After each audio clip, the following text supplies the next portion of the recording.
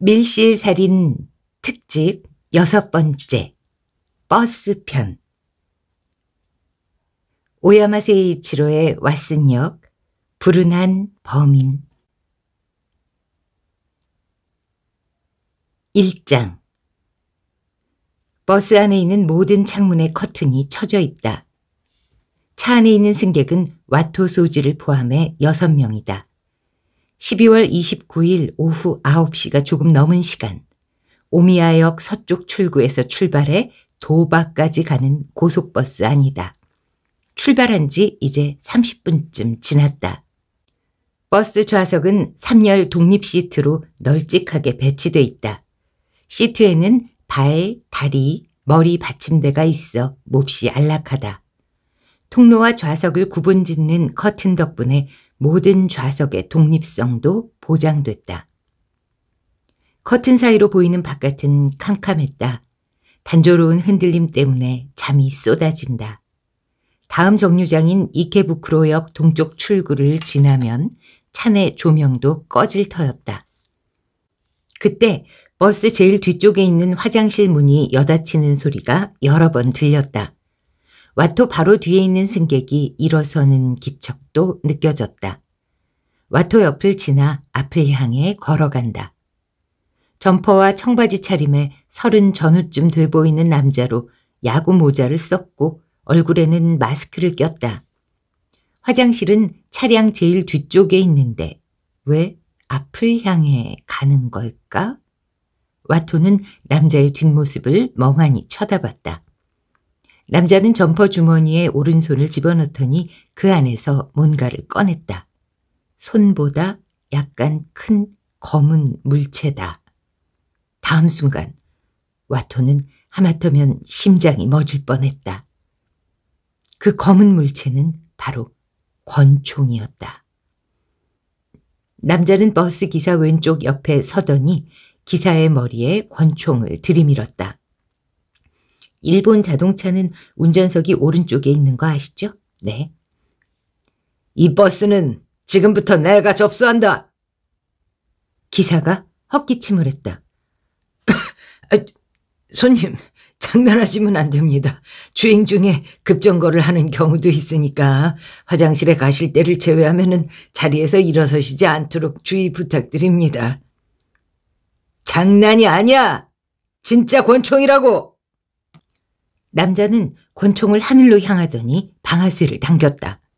순간 펑 하고 귀를 덮치는 굉음이 울려 퍼지고 비명이 터졌다. 커튼이 거치는 소리가 연이어 들린다. 뭐야, 방금 소리? 뭐, 뭐, 뭔가요? 무슨 일이에요? 와토가 고개를 돌리자 중년의 회사원 같은 여자, 스물 전후의 마른 남자, 체구가 작은 고령의 남자가 보였다. 지금부터 이 버스는 내가 접수한다. 이 권총이 진짜인 걸 증명하려고 방금 천장에 대고 한 발 쐈지. 미리 말해두는데 이건 소리만 나는 장난감이 아니야. 저기 천장에 뚫린 구멍 보이지? 지금은 운전 중이라 볼 수 없습니다. 기사가 침착하게 대답했다. 납치범은 가장 가까운 곳에 있는 와토에게 손짓했다. 이봐, 당신! 여기 와서 천장에 뚫린 구멍 확인해봐! 와토는 몸을 일으켜 납치범에게 다가갔다. 그를 덮쳐서 제압해 볼까 하는 생각도 잠시 했지만 현실은 액션 영화와 다르다. 천장을 올려다 봤다. 구멍이 뚫렸네요. 납치범이 기사를 향해 말했다. 들었지? 이 총 진짜야. 죽고 싶지 않으면 내가 시키는 대로 해. 무슨 목적으로 이런 행동을 하시죠? 목적 따위 없어. 그냥 실패뿐인 내 삶이 지긋지긋해졌을 뿐이야. 그래서 권총을 구해 세상을 뒤집어 보고 싶었어. 어이! 행선지 표시기 스위치에서 손 떼는 게 좋을 거야. 납치범이 기사를 향해 권총을 흔들어 보였다. TV에서 본 적이 있거든. 버스 납치 사건이 발생할 경우 그 스위치를 누르면 행선지 표시창에 이상사태 발생이라는 글자가 뜨게 돼 있다지? 흠, 내가 그러도록 내버려 둘 것 같아. 자, 이 테이프를 행선지 표시기 스위치에 붙여. 납치범이 점퍼 주머니에서 박스 테이프를 꺼내 기사 옆에 내려놓았다. 기사는 잠시 망설였지만 순간적으로 핸들에서 두 손을 떼고 테이프를 집어 스위치에 붙였다.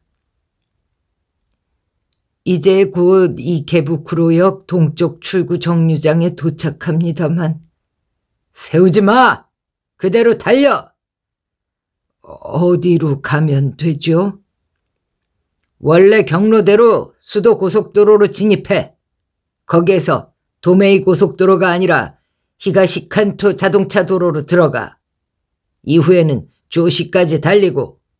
조시요? 왜 조시까지? 이누보사키에서 아침에를 보고 싶으니까. 버스는 납치범의 요구대로 이케부크로역 동쪽 출구에서 멈추지 않고 그대로 정류장을 통과했다. 정류장에 서 있던 중년 남자가 놀란 듯 입을 떡 벌리고 버스를 쳐다보는 모습이 보였다. 모두 오른쪽 좌석으로 자리를 옮겨! 뒤에서부터 한 명씩 앉는 거야. 와토를 포함한 4명의 승객은 납치범이 시키는 대로 했다. 영감은 사람들이 가진 휴대폰을 전부 걷어서 나한테 가져와. 고령의 남자가 몸을 일으켜 우선 자신의 휴대폰을 꺼냈다. 뒤이어 마른 남자, 회사원 풍의 여자, 와토의 휴대폰을 받아들어 납치범에게 가져갔다. 지금 이 버스에 총 몇 명이 타고 있지? 납치범이 기사에게 물었다. 당신을 제외하면 다섯 명입니다. 다섯 명? 내 눈에는 네 명만 보이는데 한 명이 더 있나? 납치범이 버스 뒤쪽을 쳐다봤다. 뭐야? 저놈은 왜 그대로 앉아 있어? 내 말이 안 들리나? 와토가 왼쪽을 보니 검은색 롱코트를 입은 중년의 마른 남자가 왼쪽 창가 뒤에서 세 번째 좌석에 앉아 있었다. 칸막이 커튼을 치지 않아 온몸이 훤히 보인다. 헤드폰을 끼고 고개를 앞으로 숙인 채 눈을 감고 있다. 납치범이 버럭 소리쳤다. 야 임마! 내 말 안 들려! 그러나 그 승객은 반응하지 않았다. 어, 어, 잠든 게 아닐까요? 와토가 말했다. 네가 가서 깨우고 와! 와토는 승객에게 다가갔다. 남자는 여전히 꼼짝하지 않고 있다. 헤드폰에서 요란한 음악 소리가 희미하게 들린다. 남자의 어깨에 손을 얹었다. 그러자 그의 몸이 스르르 기울더니 그대로 옆으로 쓰러졌다. 2장 와토는 화들짝 놀라 남자의 맥박을 짚었다. 뛰지 않는다. 입 앞에 손을 갖다 댄다. 숨을 쉬지 않는다. 마지막으로 눈을 확인했다. 동공이 풀린 채 반응이 없다. 남자는 사망한 상태였다. 그때 카디건을 입은 시신의 오른쪽 가슴에 소형 접이식 나이프가 꽂혀 있는 게 눈에 들어왔다. 코트에 반쯤 가려져 있어 바로 눈치채지 못한 것이다. 사, 사망했습니다. 와토는 운전석 왼쪽 옆에 선 납치범을 향해 말했다. 뭐? 죽었다고? 그게 정말이야? 납치범이 당황한 듯 물었다. 와토 쪽으로 다가와 직접 확인하고 싶은 것 같지만 기사 옆을 떠나서는 안 된다고 판단했는지 움직이지 않는다. 오른쪽 가슴에 접이식 나이프가 꽂혀 있습니다. 지금 날 골탕 먹이려는 건 아니겠지? 아니요, 정말 돌아가셨습니다. 와토는 전 의사라 확실합니다. 하고 거짓말로 덧붙였다. 칼에 찔렸다면 살해된 건가? 자살 가능성은 아주 낮아 보입니다. 자살할 때는 보통 주저흔이라는 게 남는데 그런 게 전혀 보이지 않거든요. 또 칼을 써서 자살할 경우 자기 가슴을 찌르는 일은 거의 없습니다. 살해된 게 틀림없어 보입니다. 그렇게 말하고 와토는 속으로 너무 냉정했나 하고 생각했다. 타살 시체를 앞에 두고 이토록 침착하게 굴면 수사일과 형사인 게 들통날 수도 있다. 경찰인 게 밝혀지면 납치범을 쓸데없이 자극할 테니 피해야 했다. 다행히 납치범은 와토의 냉정한 모습에는 의문을 품지 않은 듯 했다. 살해됐다고? 누구한테? 너희 중 누군가의 짓인가? 와토를 비롯한 네 명의 승객은 모두 아니요, 전 아닙니다. 라고 대답했다. 와토가 다시 입을 열었다. 어, 이분의 자리는 뒤에서 세 번째입니다. 그리고 버스 제일 뒤쪽에는 화장실이 있죠. 범인은 화장실에 가는 척 하면서 이리로 다가와 이분을 찌른 걸로 보입니다. 그리고 버스가 종점에 도착하기 전 어느 정류장이든 슬그머니 내려서 사라지려고 했겠죠. 하지만 그 전에 당신이 버스를 납치하는 바람에 결국 내리지 못하게 된 거고요. 그야말로 불운한 범인이군. 고령의 남자가 말했다. 납치범이 그의 말을 듣고 이맛살을 찌푸렸다. 그런데 아까부터 계속 뭔가 시끄러운 소리가 들리는데 뭐지? 아, 이분이 낀 헤드폰에서 음악이 나오고 있습니다. 당장 꺼! 와토는 시키는 대로 했다. 저 기왕 이렇게 된 김에 다 함께 자기소개라도 할까요? 회사원 느낌의 여자가 불쑥 입을 열었다. 자기소개? 납치범이 입을 떡 벌렸다. 네. 앞으로 이것저것 할 얘기가 많을 텐데 서로 이름 정도는 알아두는 게 좋지 않을까 싶어서요. 그거 괜찮네요. 마른 남자가 고개를 끄덕였다. 고령의 남자와 와토도 찬성했다. 그럼 말을 꺼낸 저부터요. 전 고비나타 레이코라고 해요. 난 다카노 고조라고 하네. 고령의 남자가 말했다. 전 마치다 신스케입니다. 젊은 남자가 자신을 소개했다. 와토도 안녕하세요. 와토 소지입니다.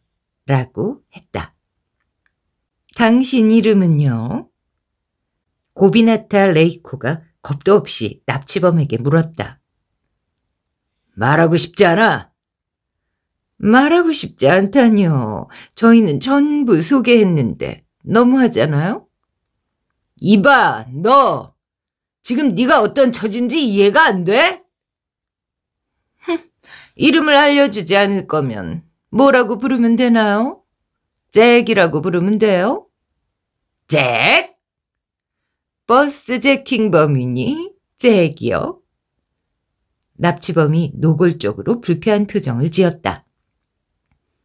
어쩔 수 없군. 내 이름은 나카야마다. 나카야마 고이치로. 어머, 멋진 이름이네요.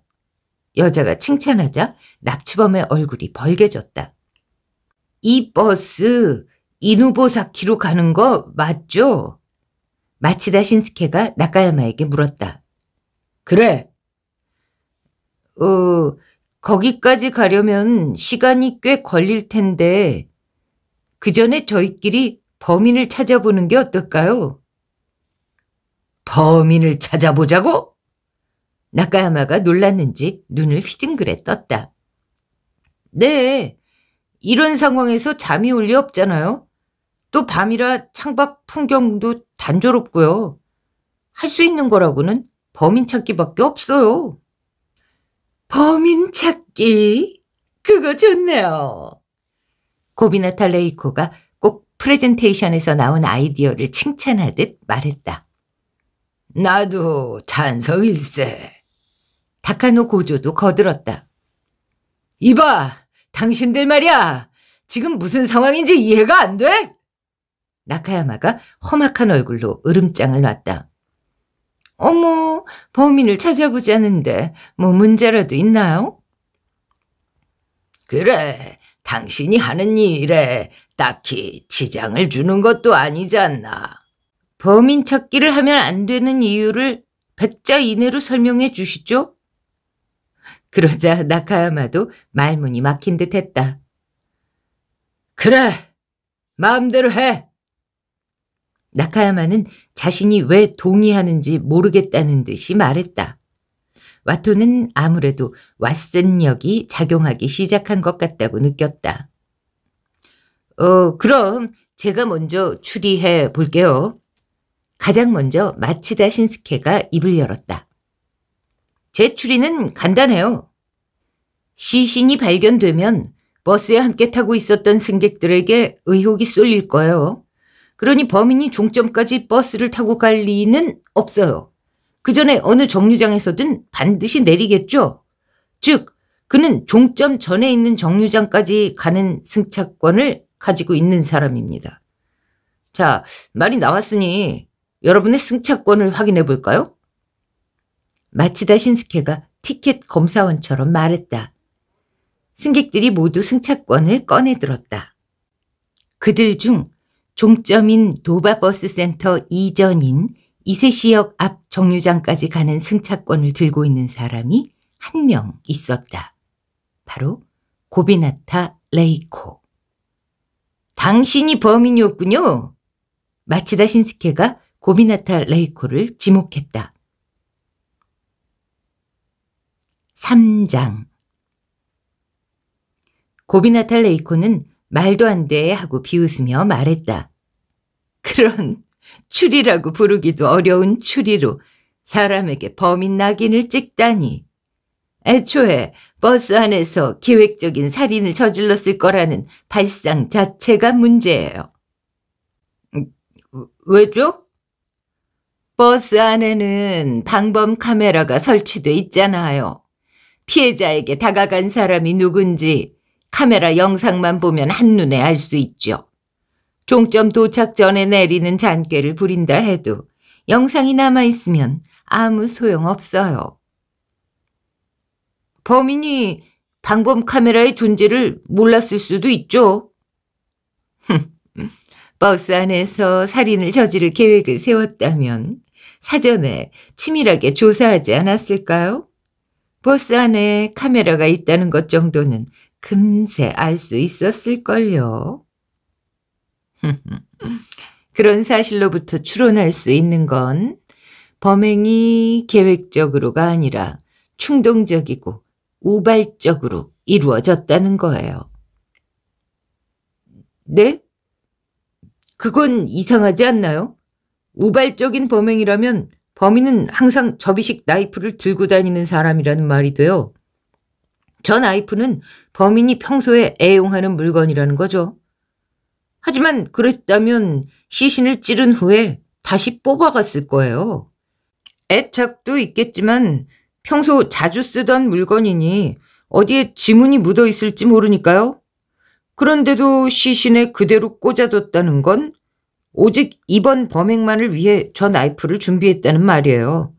그리고 사전에 나이프를 준비했다면 계획 범행이죠. 맞아요. 접이식 나이프를 사전에 준비했다는 건 계획적인 범행임을 암시해요. 하지만 그건 방범 카메라가 있는 버스 안에서 범행을 저질렀다는 점에서 엿보이는 충동성이나 우발성과는 모순되죠. 자, 이런 모순에서 도출되는 해답은 하나밖에 없어요. 고비나타 레이코는 다른 승객들을 둘러보며 입을 열었다. 범인은 애초에 접이식 나이프를 다른 범행을 위해 준비했어요. 그런데 버스 안에서 생긴 어떤 일 때문에 그만 그 나이프로 피해자를 살해하고 만 거예요. 다른 범행? 그게 뭐죠? 카메라가 있으니 버스 안에서 범행을 저지르진 않을 거라면서요. 그러니까 이 다른 범행은 오직 버스 안에서만 저지를 수 있는 범행이에요. 버스 안에서만 저지를 수 있는 범행이요? bus jacking이요. 와토를 비롯한 다른 승객들이 무심코 나카야마를 쳐다봤다. bus jacking 범인 당사자는 얼굴을 잔뜩 찌푸렸다. 뭐야? 지금 무슨 소리를 하는 거야? 흉기로 쓰인 나이프는 당신이 원래 버스 납치 때 쓰려고 가져온 거였죠? 나이프 같은 게 왜 필요해? 나한테는 이게 있는데. 나카야마는 권총을 흔들어 보였다. 네, 당신한테는 그 권총이 있으니 나이프는 필요 없었겠죠. 무슨 잠꼬대 같은 소리야? 조금 전에는 내가 버스 제킹을 위해 나이프를 준비했다고 했으면서.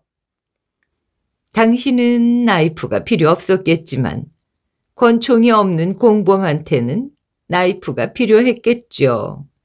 일본에서 권총을 여러 정 구하기는 어려우니 공범한테는 나이프를 쥐어줘야 했던 거예요.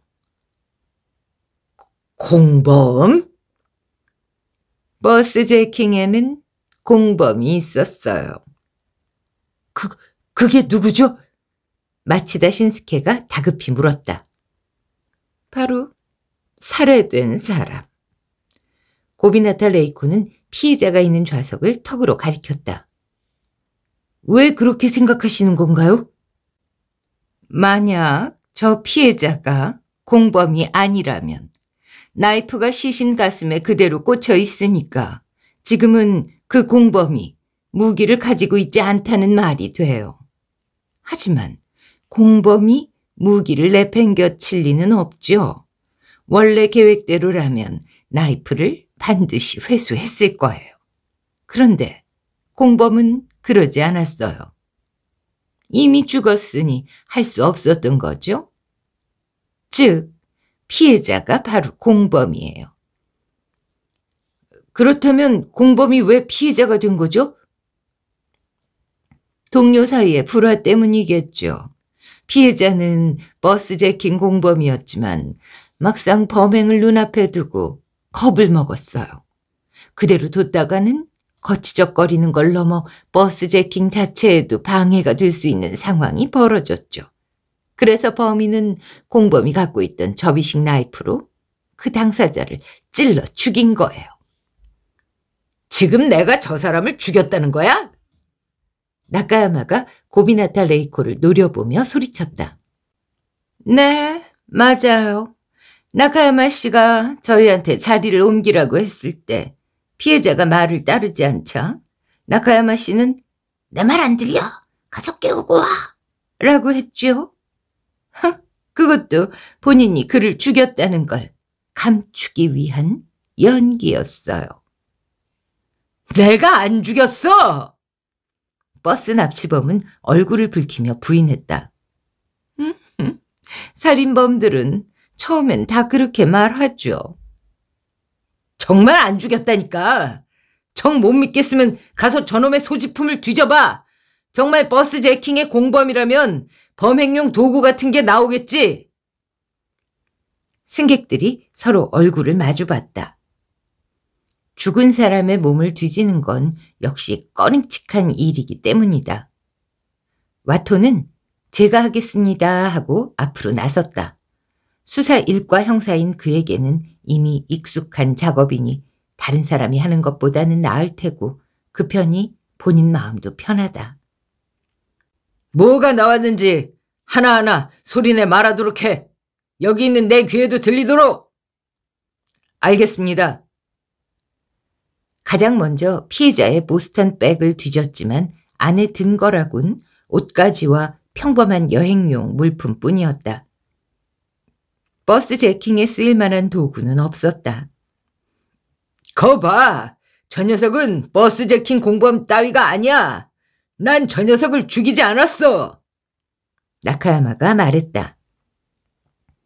와토는 피해자가 카디건 아래에 입은 긴 소매 셔츠의 가슴 주머니에서 피해자의 승차권을 발견했다. 내리는 곳은 종점인 도바 버스 센터다. 승차권 뒷면에 피가 약간 묻어 있다. 칼에 찔린 후 승차권에 손을 갖다 댄 것으로 보인다. 피해자는 스마트폰을 갖고 있었지만 잠금 상태라 안을 볼 수는 없었다. 잠금 화면에는 3층 건물 입구를 등지고 선 피해자와 어떤 여자의 사진이 있었다. 건물 입구 위에 노사 종합병원이라고 적혀 있다. 굳이 병원을 배경 삼아 찍은 걸 보면 피해자는 이 병원 경영자의 가족일 수도 있다. 와토는 그런 세세한 사안들까지 하나하나 큰 소리로 보고했다. 추리 대결에서 단서로 쓰일 수도 있기 때문이다. 4장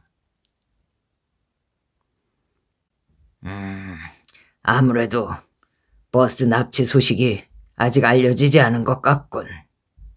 나카야마가 스마트폰을 보며 중얼거렸다. 뉴스가 전혀 안 나오고 있어. 그러자 마치다 신스케가 고개를 흔들었다. 경찰이 이미 상황을 파악했지만 언론에 보도 자제를 요청했을 수도 있습니다. 어, 그도 그럴 게 동쪽 출구 정류장을 그냥 지나치면서 승객을 한 명도 태우지 않았잖아요. 그 승객이 버스 회사에 항의했다면 버스가 기존 경로를 벗어났다는 걸 금세 알아차릴 거예요. 경로를 벗어난 걸 알아차린다 해도 지금 어디를 달리고 있는지는 모를걸. 요즘은 N 시스템이라는 게 있거든요. 차량 번호 자동 판독 장치라는 건데요. 버스가 그 N 시스템의 카메라에 잡히고 있다면 바로 소재가 파악될걸요. 네, 알 바 아냐. 난 이노보사키에서 아침 해만 보면 되니까. 오, 이런. 나카야마는 갑자기 스마트폰 화면을 보며 킥킥 웃었다. 또메이 고속도로의 에비나 휴게소에서 정차 중이던 버스에 휘발유를 뿌리다가 붙잡힌 놈이 있다는군. 무라시타 세니츠라는 이름의 투자 펀드 회사 사장이라고 해. 세상에는 참 정신 나간 놈들이 많다니까. 글쎄, 그 사람도 버스 납치범에게 정신 나간 놈이란 평가를 듣고 싶지는 않았을 텐데. 저 실례지만 저도 추리를 하나 떠올렸는데 들려드려도 괜찮겠습니까? 그때 버스를 운전하던 기사가 느닷없이 물어서 와토는 깜짝 놀랐다. 나카야마는 얼굴을 찌푸렸다. 설마 또 내가 범인이라고 하려는 건 아니겠지? 아, 아닙니다. 제가 범인으로 지목하려는 분은 다른 분입니다. 음, 그럼 괜찮아. 한번 들려줘봐. 다만 운전에는 계속 신경 쓰고. 물론입니다. 저희 회사 사훈이 안전 제일이니까요. 왓슨 역이 급기야 버스 기사에게도 미치기 시작한 듯하다. 와토는 그가 운전에 전념해 줬으면 해서 왓슨 역의 영향을 받지 않길 바랐지만 이 힘은 와토가 원하는 대로 제어할 수 있는 게 아니다. 승객 여러분의 말씀을 들어보니 지금 사건 현장에는 두 가지 기묘한 점이 있다는 사실을 깨달았습니다. 두 가지나? 네. 먼저 돌아가신 분의 좌석 커튼이 열려 있었다는 점입니다. 아마 범인이 범행 후 자리를 벗어나면서 다시 치지 않아서겠지만 그렇다면 범인은 왜 커튼을 치지 않았을까요? 범인은 시신이 발견되는 시간을 최대한 늦추고 싶었을 겁니다. 이케부크로역 동쪽 출구 정류장을 지나면 차 안의 조명이 꺼질 테니 눈치채기 어려워지긴 하겠지만 커튼이 그대로 열려 있으면 화장실에 가려고 일어선 다른 승객분이 시신을 발견하실 수도 있지요. 게다가 범인은 돌아가신 분이 핸드폰으로 듣고 있던 음악을 끄지도 않았습니다. 헤드폰에서는 제법 큰 소리로 음악이 새어 나오고 있었죠. 버스 안에서 새벽 2, 3시에 그 정도의 소리가 들리면 다른 승객분이 소리를 낮춰달라고 하러 갔다가 그분이 사망하신 걸 눈치채실 수도 있습니다. 물론 범행 직후에는 당황하는 바람에 떠올리지 못했을 수도 있지만 자기 자리로 돌아간 뒤 마음이 가라앉으면 커튼을 치고 음악을 끄는 게 낫다는 사실을 깨닫겠죠. 그러나 범인은 그러지 않았습니다. 거기서 떠올릴 수 있는 가능성은 하나뿐입니다. 범인은 범행 후 돌아가신 분의 자리에 갈 수 없었던 사람인 겁니다. 범행 후 피해자의 자리에 갈 수 없었던 사람이라고요? 그게 누구죠? 마치다 신스케가 질문했다. 설마 무서워서 못 간 걸까요? 고비나타 레이코도 물었다. 나카야마님을 대하는 여러분의 태도를 보면 이런 말씀을 드려도 괜찮을지 모르겠지만 여기 계신 분들은 모두 배짱이 두둑한 분들이라는 생각이 듭니다. 그러니 무서워서 돌아가신 분의 자리에 못 갔다고 생각되지는 않습니다. 승객들이 쓴 웃음을 지었다. 그럼 범인은 범행 후 어째서 피해자의 자리에 다시 가지 못한 거예요? 버스를 운전하고 있었기 때문입니다. 네? 그게 무슨 뜻이죠? 제가 바로 범인입니다. 그러자 승객들은 모두 입을 모아 네 하고 소리쳤다. 돌아가신 분은 승객들 중 가장 먼저 이 버스에 탑승하셨습니다. 전 돌아가신 분이 자리에 앉았을 때 그를 살해했습니다. 그 직후 다음 승객분이 탑승하시려는 게 보여서 서둘러 버스 문 앞에 가서 섰죠. 그때 서두르느라 미처 커튼을 치고 음악을 끄는 걸 떠올리지 못했습니다. 버스를 출발시킨 뒤에야 깨달았지만 이미 늦은 상태였죠. 휴게소에 정차하면 다른 분들이 눈치채지 못하게 몰래 가서 커튼을 치고 음악도 끄려고 했지만 그 전에 나카야마님께서 버스를 납치하시는 바람에 그러지 못하게 된 겁니다. 음, 음, 그런데 당신이 정말 범인이라면 왜 처음부터 내가 했다고 나서지 않고 굳이 자신을 범인으로 지목하는 추리를 들려주는 겐가? 왜인지는 잘 모르겠지만 저도 괜스레 추리를 해보고 싶어지더군요. 와토는 왓슨력의 힘을 새삼 깨닫고 어안이 벙벙해졌다. 지금껏 closed circle 상황에서 마주친 사건에서는 왓슨 역의 영향을 받아 추리력이 향상된 사건 관계자가 범인을 추리해냈다. 그러나 이번 사건에서는 추리력이 향상된 범인이 자백을 넘어 추리로 자신이 범인임을 입증했다. 범인에게까지 왓슨 역이 작용할 줄이야. 실로 왓슨 역의 진수다. 피해자를 왜 죽였나? 다카노 고조가 물었다. 돌아가신 분은 제 여동생과의 약혼을 파기해 여동생을 자살로 내몬 장본인입니다. 승차권을 보여줬을 때 누군지 알아챘죠. 하지만 저분은 제가 예전 약혼자의 오빠라는 걸 전혀 눈치채지 못하더군요. 순간 분노가 치밀어. 순간 분노가 치밀어 버스 안에 깜빡하고 내버려 두고 있던 접이식 나이프를 가져가 자리에 앉은 저분의 가슴을 찌른 겁니다. 어이! 버스에서 내리면 당장 자수해. 자수하면 죄가 가벼워지니까. 나카야마가 왠지 동정 섞인 목소리로 말했다. 아니요. 자수할 생각은 없습니다. 사람을 죽인 이상 저도 죽음으로 속죄하려고 합니다.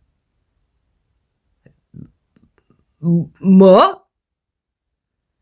이 버스를 중앙분리대에 충돌시킬 겁니다. 그럼 죽을 수 있겠죠. 이번 일에 휘말린 승객 여러분들께는 면모가 없습니다만 그냥 운이 나빴다고 생각하고 포기해 주십시오. 이게 이봐 지금 무슨 소리를 하는 거야? 나카야마가 부랴부랴 기사를 달래기 시작했다. 하나밖에 없는 목숨을 그렇게 내팽개치다니 섣부른 짓이야. 죄를 갚을 거면 죽지 말고 살아서 갚어. 나카야마는 그렇게 타이르더니 이번에는 와토를 비롯한 승객들을 향해 말했다. 이봐, 당신들도 이리 와서 뭐라고 한마디 좀 해! 와토를 비롯한 승객들이 자리에서 일어나 운전석 옆으로 갔다. 나카야마는 다카노 고조를 쳐다봤다. 이봐, 영감탱이. 당신은 인생 경험이 많잖아. 어? 죽으려는 사람을 말릴 말 한두 마디 정도는 할 수 있잖아. 좀 해보라고. 우리 마누라는 항상 나더러 당신 말은 종이장처럼 얄팍해서 설득력이 떨어진다고 하더군. 뭐? 그럼 거기는 회사원 여자! 당신이 뭐라고 좀 해봐! 음, 저는 프리젠테이션 형식으로 말하고 싶으니까 컴퓨터랑 프로젝터, 그리고 스크린을 준비해 주시겠어요? 그런 건 없어! 나카야마는 이번엔 애원하는 눈빛으로 와토를 봤다. 그럼 거기 의사 양반! 당신이 뭔가 한마디 해봐! 아, 네. 그렇다면 일본인의 3대 사인에 대해 아, 그딴 건 됐어. 이봐, 꼬맹이. 넌 아직 젊으니까 삶이 희망으로 가득 차 있겠지? 그 희망을 좀 나눠주지 그래. 전 어제 2년 동안 사귄 여자친구한테 차여서 아무런 희망이 없어요.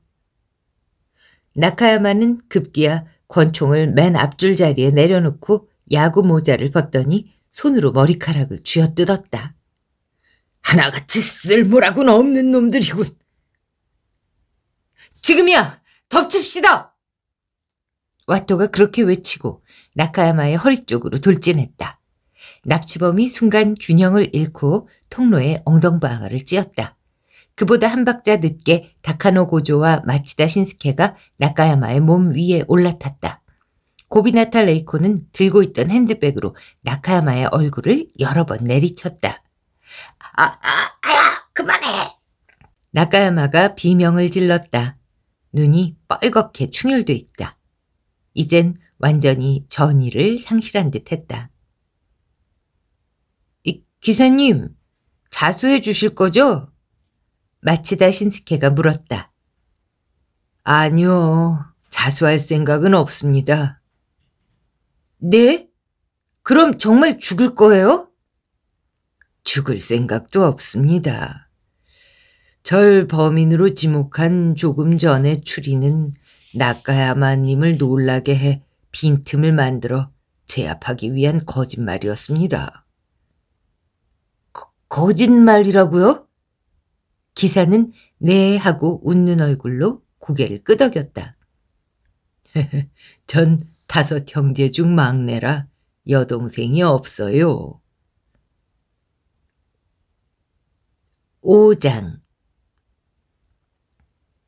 기사의 지시로 버스 비품인 밧줄을 꺼내 나카야마의 몸을 꽁꽁 묶었다. 이후 무선으로 버스 회사와 경찰에 버스가 납치당했다고 신고했다. 버스 회사 직원은 가장 가까운 휴게소로 버스를 돌리라고 했다. 어이, 나도 추리 하나 해도 될까? 그때 느닷없이 나카야마가 입을 열어 와토는 깜짝 놀랐다. 온몸이 묶여 이제는 기가 팍 죽은 모습이다. 하시죠. 추리는 만인에게 주어진 정당한 권리니까요. 와토가 말했다. 고마워. 어쩐지 나도 추리를 하고 싶어져서 말이야. 살면서 지금처럼 머릿속이 맑았던 적이 없는 것 같아.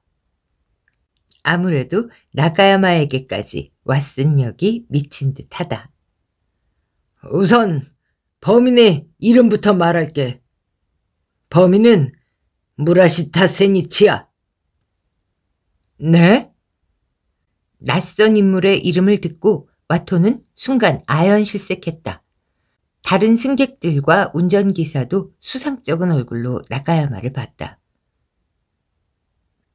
무라시타 세니치가 누구죠? 아까 인터넷 뉴스에 나왔잖아. 도메이 고속도로에 에비나 휴게소에 세워져 있던 버스에 휘발유를 뿌려서 붙잡혔다는 남자. 어, 그 사람이 범인인 걸 어떻게 아셨죠? 혹시 아는 사이인가요? 아니, 그런 건 아니야. 그냥 휴게소에서 버스에 휘발유를 뿌렸다는 걸 보고 그 남자가 범인이라고 깨달았어. 나카야마는 수수께끼 같은 말을 꺼냈다. 왓슨 역의 영향인지 눈빛에서 지적인 느낌이 든다. 내 추리는 조금 전 기사 양반의 추리를 바탕으로 했어. 그게 무슨 뜻이죠? 범인은 범행 후 커튼을 치고 음악을 끄기 위해 다시 한번 피해자의 자리로 가야 했지만 그러지 않았잖아. 승객이라면 화장실에 가는 척 하면서 피해자 옆에 갈 수 있었을 거야. 그러지 않았다는 건 범인이 피해자 옆에 갈 수 없었던 사람이라는 걸 의미해. 기사 양반은 그런 근거로 자신이 범인이라는 추리를 선보였지. 하지만 그 추리는 무너지고 말았어. 난 범인이 피해자 옆에 갈 수 없었던 사람이라는 결론 자체는 옳다고 봐.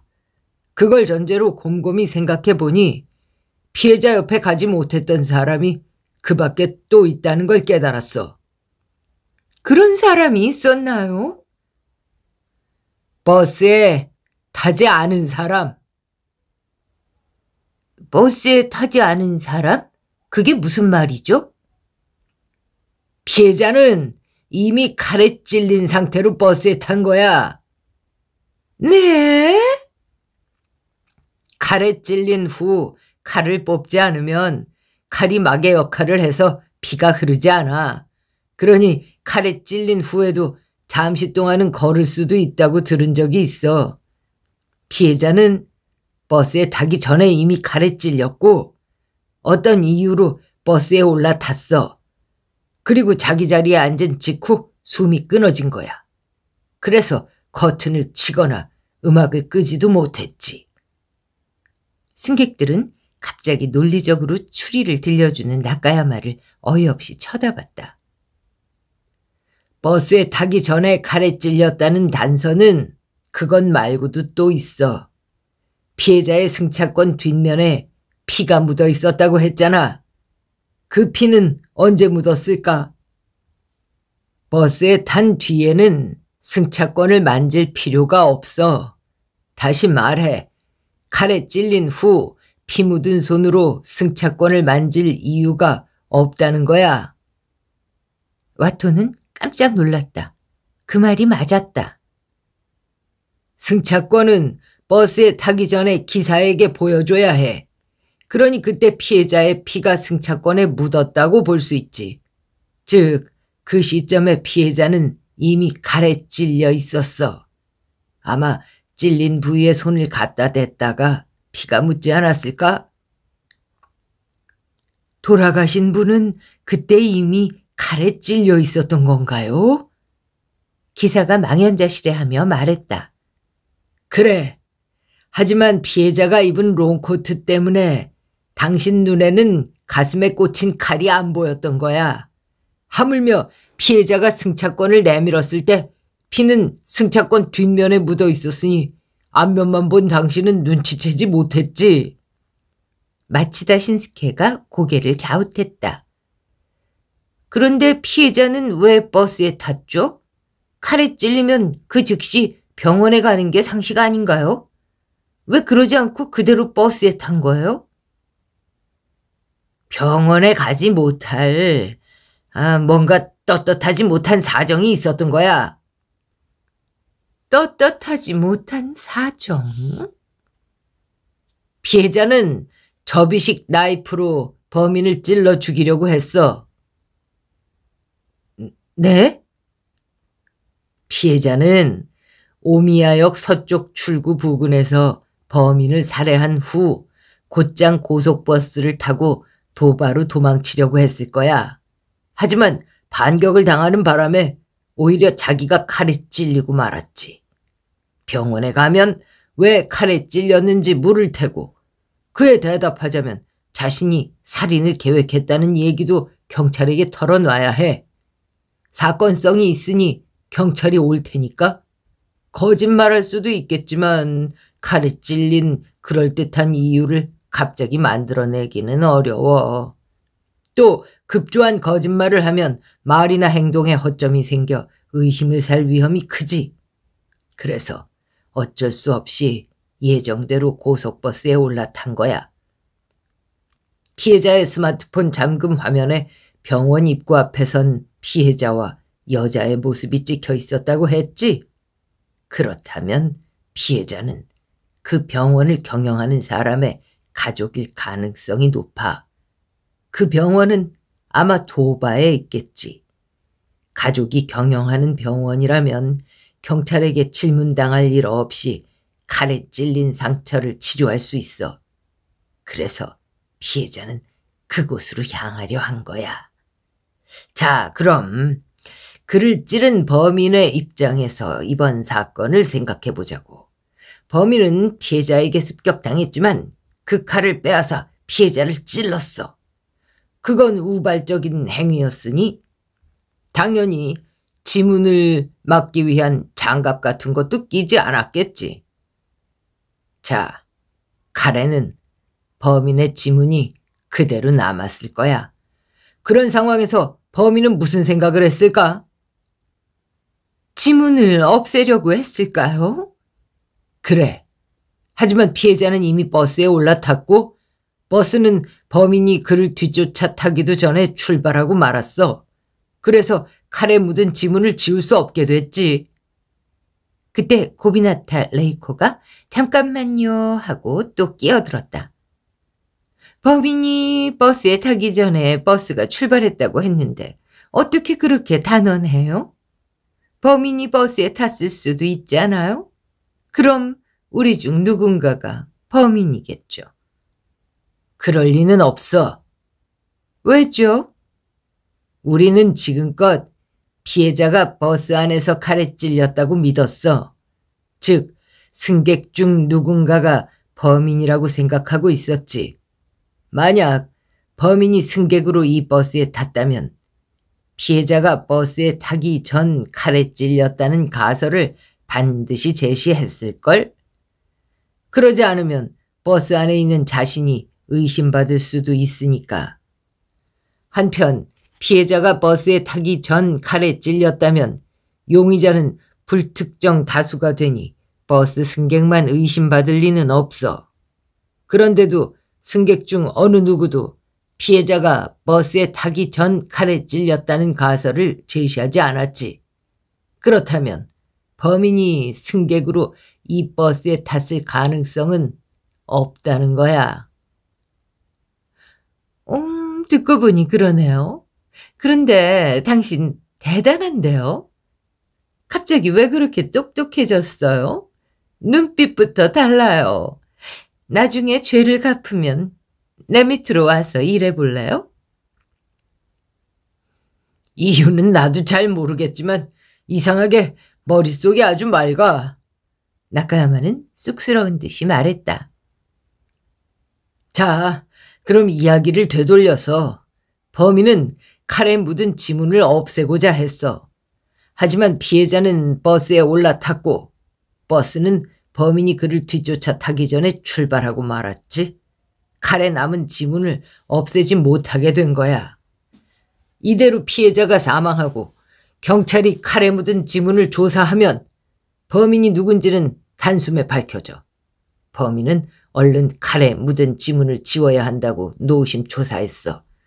물론 범인의 행위는 기껏해야 과잉 방위 정도니 중죄를 물을 수는 없겠지만 범인은 그것만으로도 사회적 지위를 잃을 만한 높은 위치에 있는 사람이겠지. 범인은 칼에 남은 자기 지문을 없애기 위해 다음 정류장인 이케부쿠로역 동쪽 출구에서 버스에 타려고 했어. 아마 오토바이 같은 걸 타고 달려갔겠지. 오미야역 서쪽 출구에서 이케부쿠로역 동쪽 출구까지 버스로는 40분 정도 걸리지만 오토바이를 타면 차 사이를 누비며 달릴 수 있으니 버스보다 먼저 도착할 수 있어. 범인은 이케부쿠로역 동쪽 출구에 먼저 도착해 버스 회사 판매소에서 승차권을 샀을 거야. 이 버스에는 승객이 날 포함해 6명밖에 없으니 출발 시각 직전이어도 승차권은 충분히 살 수 있었겠지. 그런데 내가 이 버스를 납치하는 바람에 버스는 이케부크로역 동쪽 출구에서 멈춰서질 않고 그대로 정류장을 지나쳐 버렸어. 범인은 그걸 보고 무척 놀랐을 거야. 와토는 버스가 이케부크로역 동쪽 출구 정류장을 통과하던 때를 떠올려 봤다. 버스가 멈춰서지 않자 정류장에 서 있던 중년 남자가 망연자실한 얼굴로 버스를 바라봤었다. 그가 바로 범인이었던 걸까? 지금껏 버스 납치범 때문에 범인이 현장에서 빠져나가지 못했다고 생각했지만 오히려 반대로 버스 납치범 때문에 범인은 피해자가 있는 현장으로 가지 못했던 것이다. 버스가 왜 정류장에 멈춰서지 않았는지 범인은 이해할 수가 없었을 거야. 하지만 굳이 판매소에 찾아가 묻지는 않았겠지. 자칫하다가 직원이 자기 얼굴을 기억하면 낭패니까 말이야. 그 대신 범인은 버스를 다시 뒤쫓기로 했어. 버스의 경로를 알고 있으니 다음에 정차할 휴게소에 먼저 가 있기로 한 거야. 다만 정류장과 달리 휴게소에서는 버스에 타고 있던 승객들이 휴식하려고 내리기만 할 뿐 새로운 승객이 버스에 탈 수는 없어. 그러니 버스에 올라타서 지문을 없앨 수는 없는 거야. 그렇다면 범인은 거기서 어떤 생각을 했을까? 그때 난 인터넷 뉴스에서 본 도메이 고속도로 에비나 휴게소에서 버스에 휘발유를 뿌렸다가 붙잡혔다는 무라시타 세니츠라는 남자가 떠올랐어. 버스에 휘발유를 뿌린다. 그 녀석은 아마 버스를 불태우려고 한 게 아닐까? 버스를 불태운다고요? 그래. 버스를 불태우면 칼에 묻은 지문도 불길에 휩싸여 사라질 테니까. 만약 불에 타서 사라지지 않더라도 소화기 거품과 함께 사라질 거라고 생각했겠지. 무라시타 세니치라는 남자가 했다는 행동이 이번 사건의 범인이 할 만한 행동으로 딱 들어맞지 않아? 거기다 녀석은 투자펀드 회사의 사장이라고 해. 과잉방위라고는 해도 사람을 죽였다는 사실이 알려지는 것만으로 사회적 지위를 잃을 만한 위치에 있는 사람이지. 이 역시 범인의 조건에 부합해. 그래서 난 그 녀석이 범인이라고 확신했어. 덧붙이자면 이게 무라시타 세니치의 얼굴이야. 다들 본 적 있지? 나카야마는 스마트폰을 몇 번 두드려 화면을 모두에게 보여줬다. 그곳에 비친 중년 남자의 얼굴을 보고 승객들은 모두 앗 하고 소리쳤다. 그는 이케부크로역 동쪽 출구 정류장에 버스가 멈춰서지 않자 입을 떡 벌린 채 버스를 멍하니 바라보던 바로 그 남자였다. 하지만 무라시타의 예상과 달리 버스는 에비나 휴게소에도 정차하지 않았어. 내가 버스의 목적지를 조시로 바꿨으니까. 버스 납치 소식이 뉴스로 보도되지 않은 탓에 무라시타는 그걸 알지 못한 채 오토바이를 타고 고속도로를 달려가 에비나 휴게소에 도착했고 이후 버스에 휘발유를 뿌렸지. 하지만 그 버스는 이 버스와 차종만 같은 다른 버스였어. 휴게소에는 보통 고속버스가 여러 대 세워져 있고 늦은 밤에는 외형만으로 버스를 구분하기가 어려우니 착각했다고 해도 이상하지는 않아. 버스를 불태우는 건 황당무계한 방법이지만 피해자를 놓친 데다 증거인멸에도 실패했으니 무라시타는 그때 아마 정상적인 심리 상태가 아니었을 거야. 무라시타도 자포자기에서 버스 납치나 시도하는 사람한테 정상적인 심리 상태가 아니었다라는 말을 듣고 싶지는 않았을 것이다. 와토는 그런 생각이 들었지만 입을 꾹 다물었다. 애초에 피해자가 무라시타라는 남자를 살해하려고 한 이유는 뭔가요? 무라시타는 투자 펀드 회사의 사장이야. 한편 피해자는 노사종합병원을 경영하는 사람의 가족이지. 어쩌면 무라시타의 투자펀드 회사와 노사종합병원 경영자 가족 사이에 병원 매수를 둘러싼 뭐 법정 다툼 같은 거라도 있던 게 아닐까? 피해자는 그래서 무라시타한테 앙심을 품었던 거야. 뭐 이건 무라시타한테 직접 물어보면 금세 밝혀지겠지만. 범인은 갑작스럽게 공격을 받아 반격했지만 피해자는 그대로 도망쳐버렸고 다시 그를 쫓아 한겨울 늦은 밤에 오토바이를 타고 장시간을 달렸다. 그러나 결국 증거인멸에 실패하고 방화죄로 체포된 걸로도 모자라. 심지어 증거인멸 실패 원인을 제공한 버스 납치범에게 범인으로 지목되기까지 했다. 이보다 더 운 나쁜 범인이 있을까? 와토는 내심 그를 동정했다.